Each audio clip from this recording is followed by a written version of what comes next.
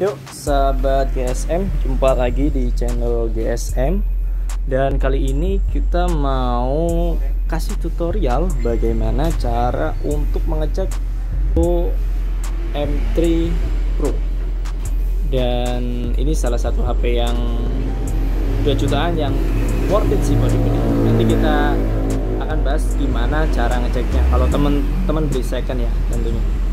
Oke, yang pertama teman-teman harus uh, cek dulu aja ya untuk emailnya sama atau tidak. Bintang pagar 06. Pastikan kalau teman-teman beli second, emailnya di sini sama ya. Jadi 1089 dan 197. Oke. Sama untuk emailnya.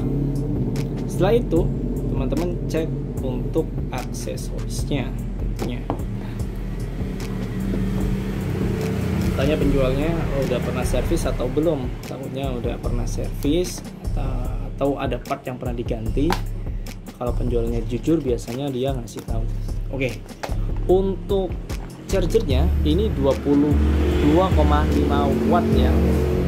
Jadi kalau teman-teman beli kalau dikasih yang 10 watt nah biasanya itu bukan charger orinya dan harganya juga lebih murah lah kalau bukan charger orinya. Bisa dikurang 100 atau 50 kan lumayan buat tambahan bensin. Oke nah ini untuk update datanya. Mungkin kalau aksesoris itu sih yang uh, yang kita cek ya. Kita nggak dapat headset juga. Nah setelah itu baru kita cek untuk komponennya. Apakah ada bermasalah atau tidak di komponen Poco M3 ini? Oke, yang pertama kita cek untuk fisiknya teman-teman pastikan HP-nya belum diganti LCD-nya ya. Takutnya kalau udah diganti mah uh, saya nggak rekomend sih. Kecuali harganya murah. Oke. Dicek di sini uh, biasanya kalau udah ada bekas lem ya di sini ini biasanya dia udah pernah ganti ya LCD-nya ya. Dan warnanya kalau udah pernah ganti biasanya dia juga kebiruan ya untuk warnanya backdoornya juga dicek takutnya nah, di sini ada bekas lem atau baterainya udah pernah diganti. Nah itu. Setelah itu kita cek untuk softwarenya. Kodenya seperti ini ya teman-teman. Kasih tahu untuk kodenya. Bintang pagar. Bintang pagar 64 663 pagar bintang pagar bintang. Nah di sini nanti kita akan diarahkan ke hardware test di sini ya. Oke kita langsung mulai aja untuk pengecekannya. Version info. Nah ini untuk emailnya emailnya pas sama ya. Nah storage dan total memori. Nah ini untuk memori yang tersedia ya. Nah ini untuk eksternalnya nggak ada.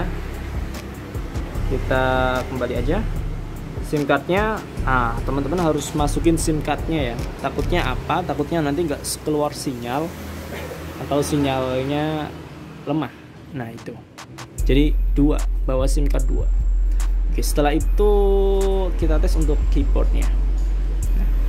Oke volume up volume down ya volume up. Nah, di sini kita cek untuk vibratornya karena vibrator juga kadang uh, beberapa HP ada yang mati ya. Ini vibratornya hidup ya. Turn off. Ya kita keluar aja. Vibrator sudah. Nah kita nah ini untuk lampu flashnya ya. Teman-teman cek takutnya lampu flashnya ini mati atau udah fungsi lagi ya. Oke. Nah di sini touch sensor. Nah pastikan teman-teman. Nah kalau di sini putih ya nggak bisa ya nggak bisa uh, ada kolom seumpama kayak gini.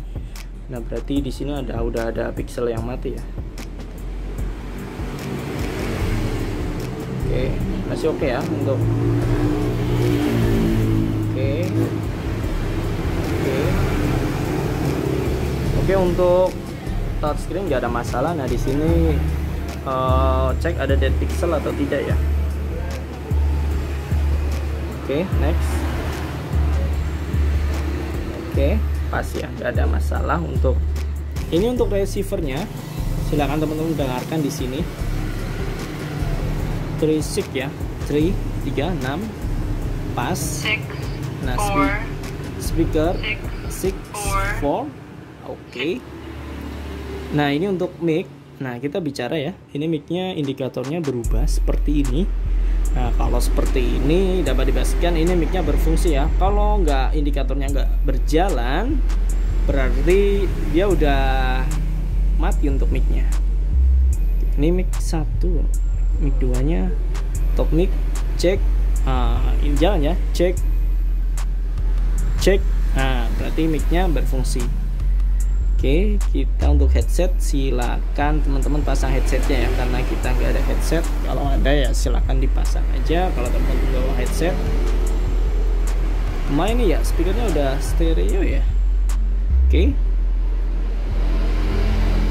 Nah, headsetnya udah ke detect ya. Insert. Oke. Kita lepas lagi aja. Setelah itu giroskop untuk sensor giroskop ya. Oke ya bioskop. Oke pas.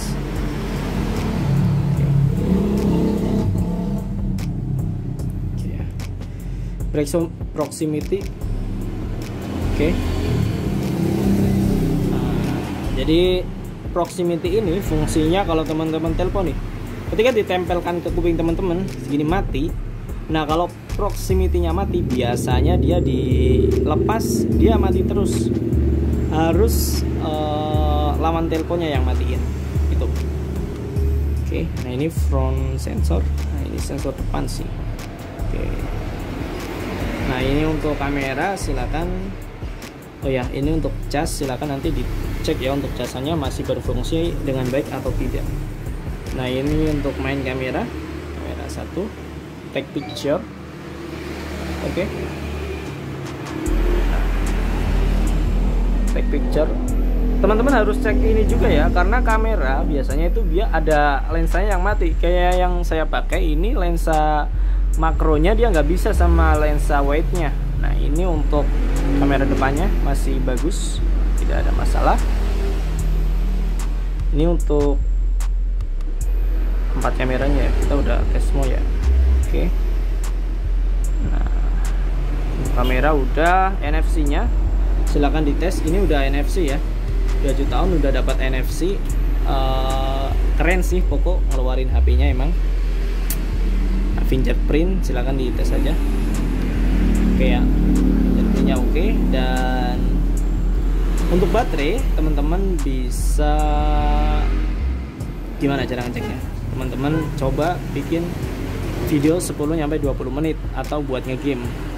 Nah di situ presentasi baterainya cepet nggak ngurangnya? Pasang kartu datanya nyalain juga. Nah kalau berkurangnya signifikan ya buat bikin video semuanya teman-teman kok berkurangnya 10 menit ya? Buat bikin video kok berkurang sampai 20% atau 30% nah berarti itu baterainya udah boros ya. Oke, mungkin itu aja sih yang bisa saya bagikan untuk cara pengecekan Oppo M3, M3 Pro ya. Uh, semoga bermanfaat dan bagi teman-teman yang sedang mencari HP kan saya doakan dapat HP yang bagus dan bisa dipakai untuk jangka panjang. Sampai jumpa di video selanjutnya.